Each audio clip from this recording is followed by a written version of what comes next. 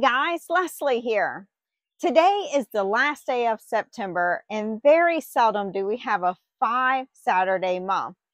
Last week we wrapped up the Re Reputation series, and I am so looking forward to jumping into something fun in October.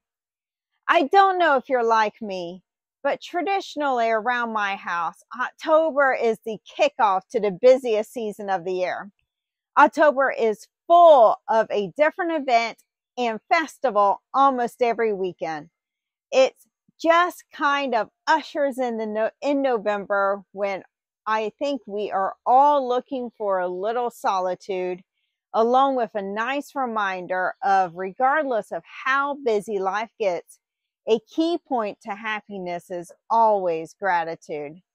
Then December rolls in to keep the busyness going all the way up to the new year. So before life gets going at 100 miles per hour and every day is insanely busy, I would like to take a moment to talk about the importance of rest. Yes, even in the whirlwind of busy, we still need to focus on our own health. And a huge part of that is rest.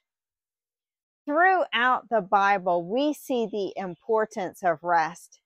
In fact, rest is so important that before we get even out of the second chapter, God speaks of rest. Genesis 2 2. By the seventh day, God had finished the work he had been doing. So on the seventh day, he rested from all his work. I truly do not believe God needed rest. This is to me is an example of the importance of rest, an example of the importance of stepping away from everyday life. Whether we are having fun like at all the fall festivals that will soon be springing up everywhere, or just simply stepping away and removing ourselves from the repetitiveness of day to day life. And please don't get me wrong, there is beauty, growth, and fruit that comes from habits and consistency in life. But every once in a while, we need to step away to be able to appreciate that beauty. We even see Jesus engaging in times of rest. Then, because so many people were coming and going that they did not even have a chance to eat, he said to them, Come with me by yourselves to a quiet place and get some rest. That's Mark 6:31. This occurred right before the feeding of 5,000. Jesus made sure himself as well as his disciples were rested and fed prior to the crowds. After the crowds began to leave, Jesus let his disciples go ahead to the boat while he went away for rest. Immediately, Jesus made his disciples get into the boat and go ahead of him to Bethsaida. While he dismissed the crowd, after leaving them, he went up on the mountainside to pray.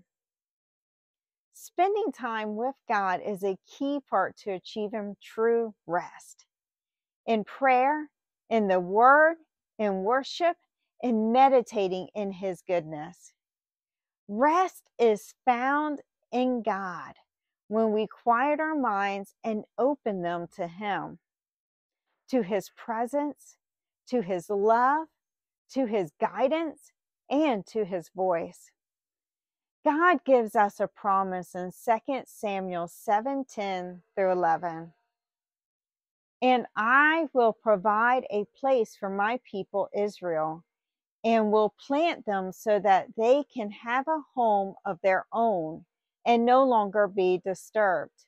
Wicked people will not oppress them anymore as they did at the beginning and have done ever since the time I appointed leaders over my people Israel.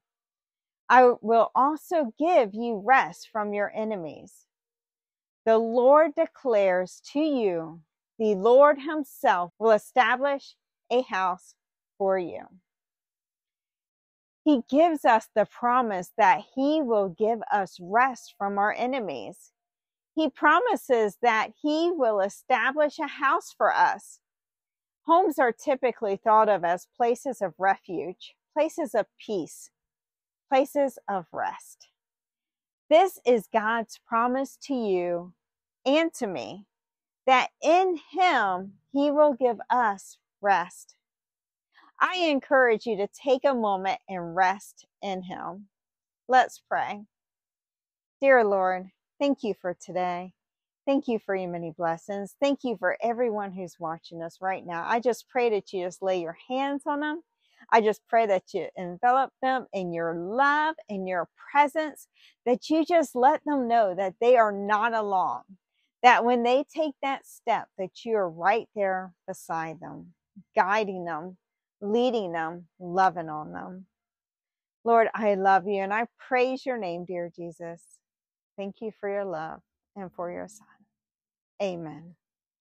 Thank you so much for joining us today. I cannot wait to see you next week.